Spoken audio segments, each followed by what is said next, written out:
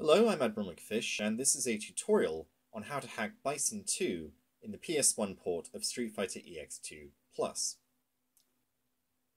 I recommend, as with all these videos, to go back and view my very first video, just on the basics of character hacking. As with all of these sorts of hacking methods, you're going to need the program that you want to hack open, you're going to need a cheat program such as ArtMoney, and you're going to need to select the process you want to hack, and as with many games, though not all, you're going to want the character values listed. You'll need them for Street Fighter EX2 Plus, and I'll have them in the description of the video anyway, because the characters on the character selection screen are not in order of ascending character value.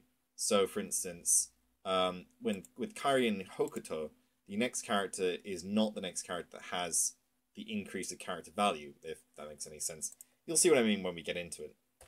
So we'll go to arcade mode.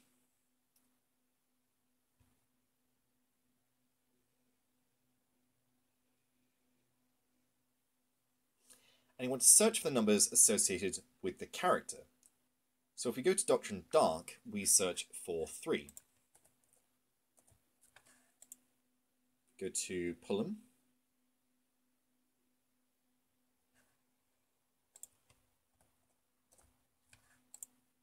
Skullomania.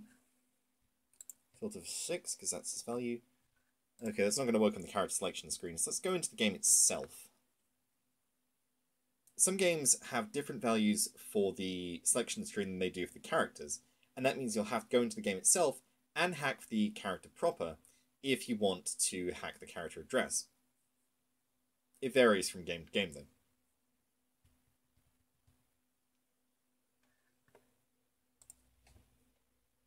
So Doctrine Dark is character value 3, so we search for 3. Let me change character.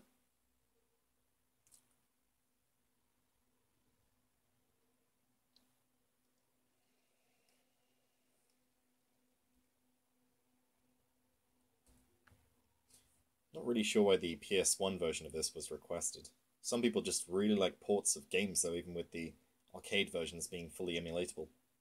It's preference, I suppose.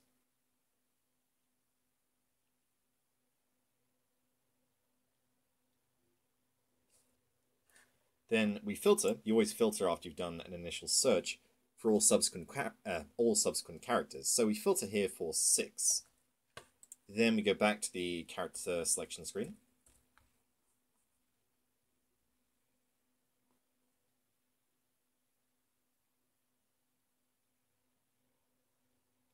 Let's go for Guile.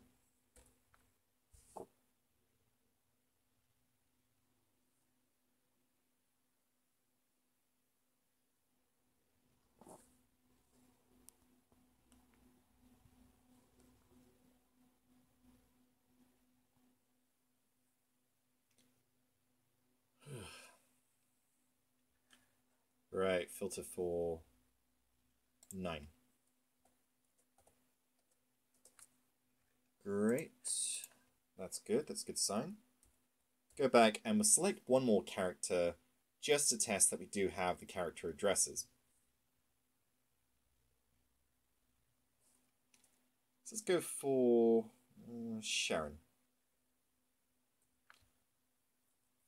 And any and all of the character addresses should come up with a value of 5.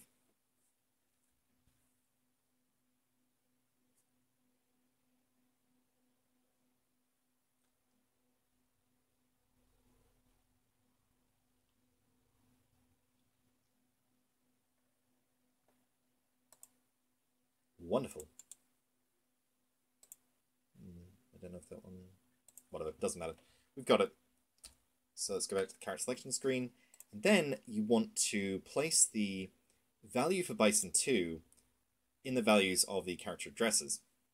So he's 1B. Uh, that is, I can't even remember what that is. Just type in here, it's 27, so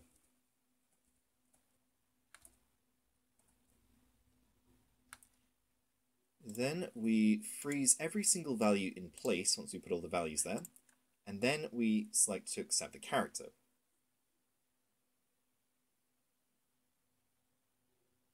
Yep, there we go.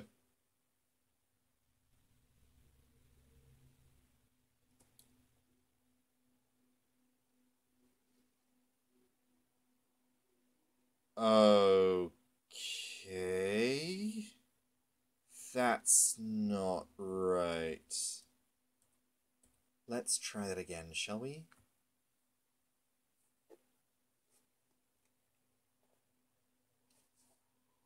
Let's try selecting Bison, that might help. Because that was supposed to be Bison 2, but something went wrong there.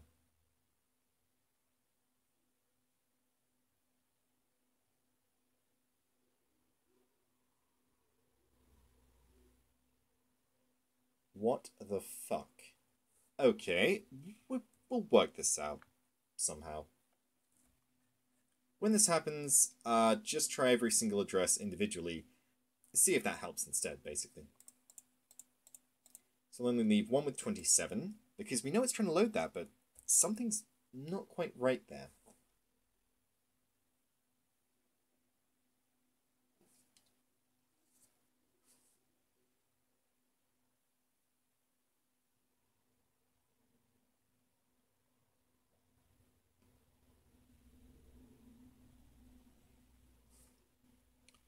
Okay, that's just regular bison.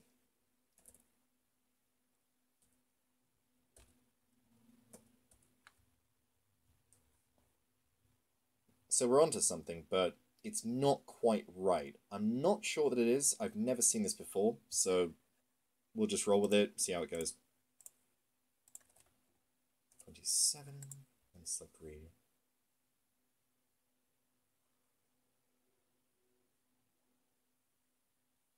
Nope, that's not it.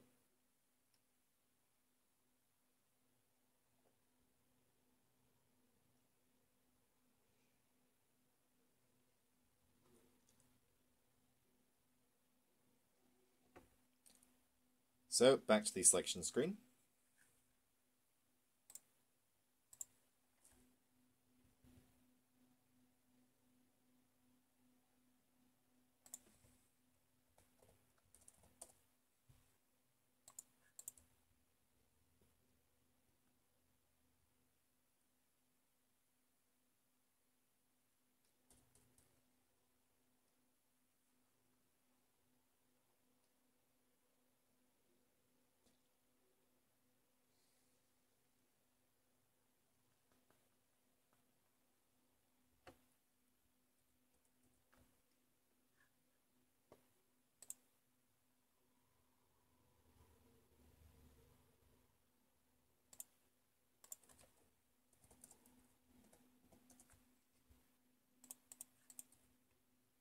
Let's try that. That should load him. If it's the last two addresses we have to try. Okay, we've got Bison 2. We suffer from the same problem there.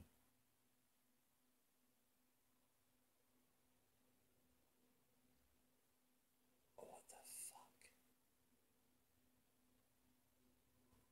fuck? Okay, let's try this individually it might be a mix up between character value and character model or something. It does happen in 3D fighting games. This is a learning process. You learn it as you go along.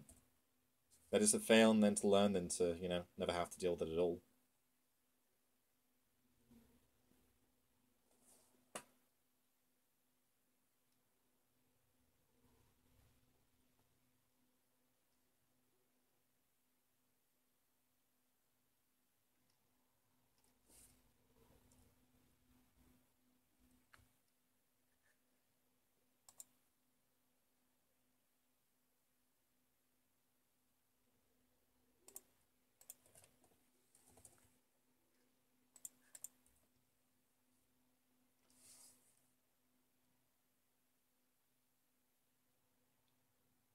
Okay, there's Bison 2.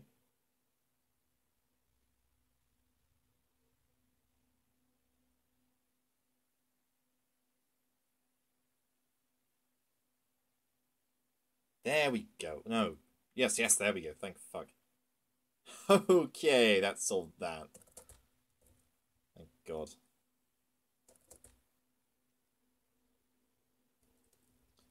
Right, I have no clue what the hell that was.